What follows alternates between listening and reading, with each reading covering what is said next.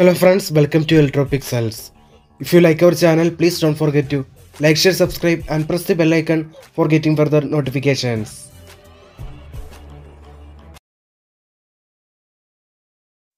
Hi friends, it's a 42 inch LG LED TV. Here in this TV, the fault is vertical bars appearing on the TV screen. See friends, this is the fault. These types of complaints are mainly due to internal shorting in gate signals inside the glass panel. The shorting may be either from the left side or right side of the glass panel. If both sides of the panel gate signals are short, then it is not repairable. After all, we can repair this fault using a temporary solution. If the shorting is in any one side of the gate signal, we can solve this panel related issue by blocking the gate signals from that side. That is just only a temporary solution. See friends these are the gate signal tracks from the left side. We need to block the 13 pins and these are the gate signal tracks from the right side.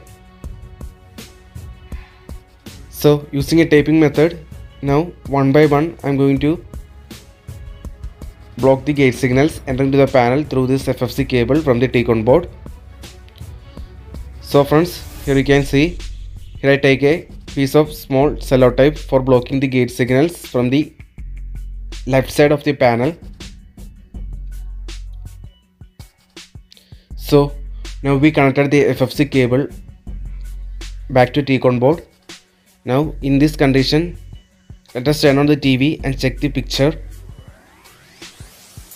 if the shorting is in left side after removing this gate tracks picture comes and the TV will work properly. But here you can see the complaint remains same. Still there are vertical bars appearing on the TV screen. So this means that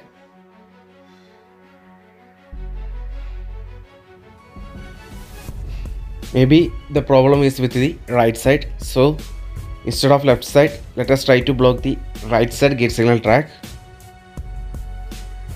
So here we now removed type from the left side FFC cable.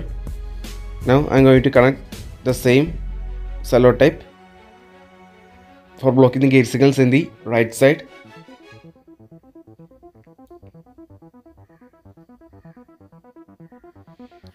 See friends, here I fixed the FFC cable.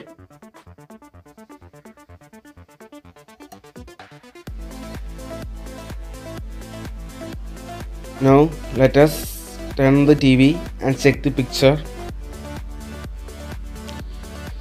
See friends, after removing the gate signals from right side also, the complaint remain same.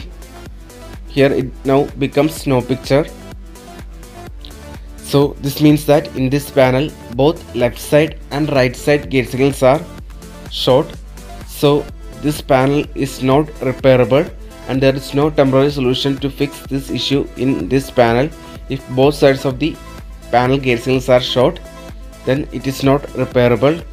So here we need to replace the panel with new one so panel replacement is the only solution for this TV. Hope you like this. Thank you for watching.